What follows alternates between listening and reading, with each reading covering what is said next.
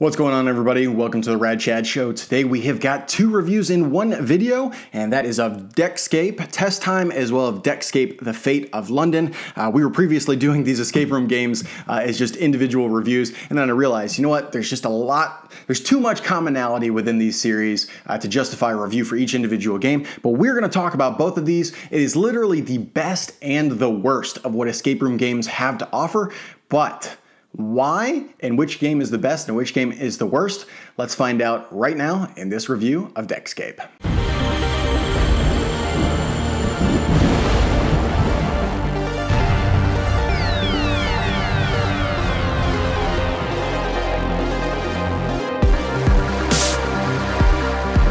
Okay, so basically what we want to accomplish in this review is four things. The first of which is I'll give you guys a quick summary of sort of how this game feels to play. Then we'll dive into the pros, the cons, and the things that I find just okay about uh, Test Time and the Fate of London. But without further ado, let's talk about uh, Deckscape and how it plays. If you're not familiar with escape room board and card games, basically you are locked in some sort of environment for whatever reason and you have to find your way out in a certain amount of time. That's the general premise, and this series in specific tries to build in a sort of story. Uh, one has got uh, more or less a time travel story to it, that's test time, and then in the fate of London, there's like this bomb diffusing uh, sort of story. Uh, they're a little bit wacky, but we'll talk about that a bit later. Now, when you actually start getting into the game, game. It's fully cooperative. Uh, the thing that makes this game unique is that it's just one big old thick chunky deck of cards. Uh, and when you first start playing the game, you're going to uh, divide that deck of cards into four separate color coded decks. So you have like a yellow deck, a red deck, a blue deck, and I don't know, maybe a green deck, something to that effect and uh, and basically you're just going to go through and solve the puzzles. You may solve the puzzles for yellow first and then move into red or maybe you do green simultaneously. You're going to be kind of like mixing and matching and moving across different locations i guess you could uh, sort of see it as. And there's really only like two different types of cards. So you've got like uh, more or less item or clue cards. Uh, these can be manipulated and used in order to help you solve other cards which would be your puzzle cards a puzzle card could be something as simple as, hey, there's a brick wall with 100 different bricks on it, and if you push one of those bricks inward, you open up a secret door. And I'm just making this up off the top of my head. And what makes this game uh, kind of unique and interesting is that once you have figured out, okay, I think it's this brick over here, um, you just have everybody at the table agree, yep, I think you're right. You flip over the card, and it immediately tells you, uh, yes, your answer is correct, or no, your answer is incorrect, and then it gives you uh, the solution. Um, and so, really, you just keep solving puzzles until you get to the grand finale. You see how much time it took you, how many things you got wrong, and you get a final score. And that's basically how you play these games. There's almost nothing else to it. Uh, the instructions within the game are told on the first, I don't know, three, four, maybe five cards. So, it's really quick and easy to get into, and a great starting point for people who are looking at escape room games. So, that's the summary. But let's talk about some of the pros cons, and the things I find just okay about the game. Now, the pros, there are a few that are pretty easy and universal between the two games. The first of which is that I think they've got pretty good components. Uh, the artwork's not half bad, but the thing that I like the absolute most, and the reason why I put it in the good category, is they have got these really thick, chunky cards. So even though this box uh, doesn't look that big, the cards are literally the exact same size basically as this box. And a standard deck of poker cards would, I don't know, maybe be yay tall and only come over to here. So they are substantially bigger than a standard deck of poker cards. Uh, it allows people when you're sitting around a table to easily be able to, to see things. Um, and I, I just find it allows some of the artwork to shine a little bit more when you've got some more real estate to actually show it off in. The other thing that's great is it's a really low price point to play either of these games. I think you can buy these for 10 bucks, maybe even a little bit less online. Uh, and I think for the one hour you're going to play this game, if you play it with two, three, or four people, is going to be uh, well worth the money. Uh, well, at least for one of these two, because it's the best and the worst. Um, they can also be replayed. So after you are done uh, playing this, you can simply, I mean, the deck is just numbered 1 through 60, I believe. You just put the numbers all back in order. You don't have to destruct anything. Uh, in fact, the only thing that you would even write on is it does come with a score sheet, which tells you to write down your time. So let's say you start at 7 o'clock, and it tells you to, to timestamp afterwards. So you finish at 8 o'clock, and then you write down an X for each one of the uh, answers that you got wrong. You could very easily do that on a separate piece of paper, and I find absolutely no reason why you would use a score sheet in this game. So it is fully replayable, and if you want to sell it, trade it, give it off to a friend, you can definitely do that. I love that about uh, these games and any other games in the escape room series that does that, uh, because the one thing that I hated about Exit, uh, pretty pretty significantly was the fact that when you're done, you just chunked in the trash and it's gone forever. So I love that it is replayable. Uh, now, test time.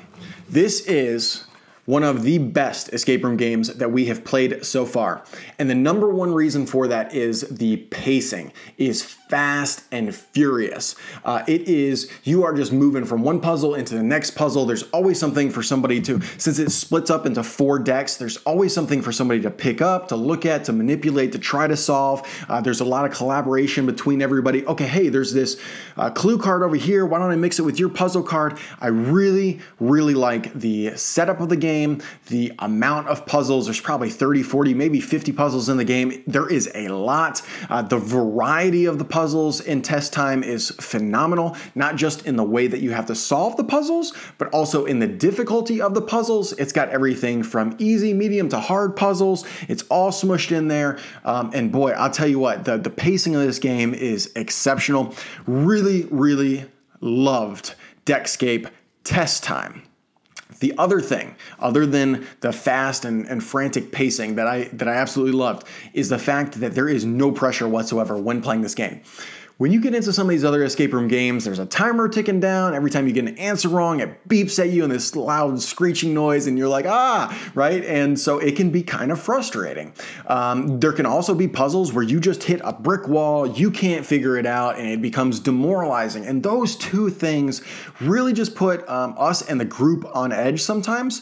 In this game, two things. Number one is, sure, there's a scoring system at the very end, but really who cares right like who are you competing with so if you got the a plus rating great you know hand clap high five knuckle bump each other awesome if you got the f rating whatever, right? like it doesn't matter. There is no sense of failure. Even if you don't uh, successfully uh, complete out a specific, uh, so I got distracted there for a second, a specific puzzle, all you do is flip over the puzzle and it says, yep, you were either right or no, you were wrong, and you just mark an X, you move on with your day. I love that about this game.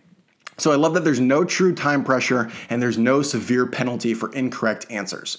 So those are the main pros, and those are why I give Deckscape test time easily like a good seven and a half, maybe an eight out of ten, which at least in my way of looking at it, and I, I sort of parallel the way that Board Game Geek uh, does their rating system, that would be very good. Uh, a game that I would strongly recommend to somebody else. It's not the best game I've ever played, um, but in terms of escape room games, it's certainly up there as one of the best I've played so far.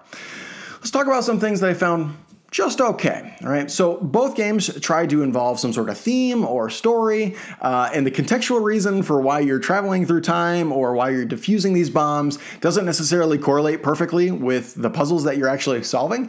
I applaud them for their effort, but it's not perfectly uh, well implemented. Uh, but I think all escape room games are really going to struggle with this until, I don't know, some sort of writer maybe. You're going to have to put a lot of effort in order to make the puzzles and the story uh, coincide with one another in a way that is realistic and good. The games also try to fit in this like grand finale or twist. So when you're done with all four of these decks, uh, you go on to like one master puzzle. There may even be a, uh, a question that you have to solve at the very end, uh, which uh, sort of wraps everything together. I can't dive any deeper without going into spoilers. It's a unique concept. It makes these games uh, stand out a little bit uh, differently than all of the other escape room games that I've played so far. But especially in test time, the final sol- solution, the answer to the question that that it proposes. I just wish there was more rationale, more explanation for why if I chose this, I got this repercussion, or why I chose this, I got that. It just didn't make much sense. I can't go into any more than that. You're gonna have to take me for this. Again, it's one of these things where I applaud them for your effort. It just wasn't that well implemented. But you know what? It doesn't really detract from the overall experience. It was just something worth noting. And then the final thing is just that scoring system. This could be a pro, could be a con, it could be an okay for anybody. Just for me, the scoring system, I, I almost, for me, I just leave it out. I, I really don't care. But let's talk about some of the cons. And really, almost all of this relates to just the fate of London. This is easily the worst escape room game I've played so far. I hate to be that brutally honest about this game. My wife gave it a one out of 10. I mean, she finished it and she was like, hated it. Absolutely hated every last bit of it. And I'm not that polarized on it per se. Um, but I will tell you that we played test time first. We came off on a huge high of that game. We absolutely loved it. We were thrilled to jump into the Fate of London. I think we played it maybe just two days later. And um, the puzzles are just extraordinarily difficult. Uh, and it's further exacerbated by the fact that the clue system is not very good. So it gives you uh, a couple clue cards at the beginning. You flip over these clue cards and it's got numbers along the side. So there is, I don't know, maybe a, a sentence, four five words, something like that, that will help uh, you get a nudge in the right direction for any one specific puzzle and it just doesn't encourage you to use those clues enough. And some of these clues just don't give you enough of a nudge. Like in Exit the Game, there was like clue number one, clue number two, and clue number three, and it gave you a sense of progression. Okay, maybe I only need a little help, maybe I need a lot of help, right? This doesn't give you that. Uh, so really, I felt like the help was almost non existent and almost an afterthought. Like they expected you to almost not even use the clues.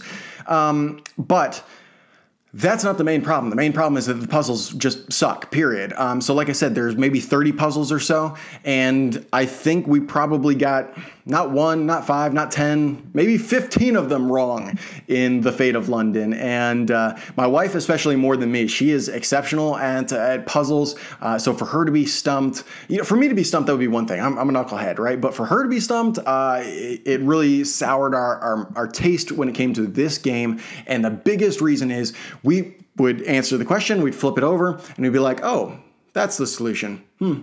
Literally could have sat here for the rest of my life and I would have never figured that out. I don't even know how you could assume that anybody would even come to that conclusion. And we felt that way about just a ton of the puzzles. And that's really unfortunate. It was so bad that towards the end of the game, let's say there was a four options for us to choose uh, to solve the puzzle. We basically just look at the puzzle and be like, eh, this one. Let's just choose this. Sure. Yep. That one looks good. Let's choose that. There's a one in four chance. Don't even care anymore.